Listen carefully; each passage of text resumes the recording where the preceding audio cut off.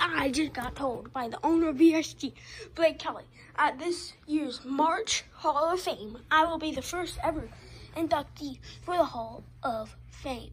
So you will see me in my video intro at the Hall of Fame, and old Chuck E. Cheese will induct me. Bye, guys. See you at Hall of Fame.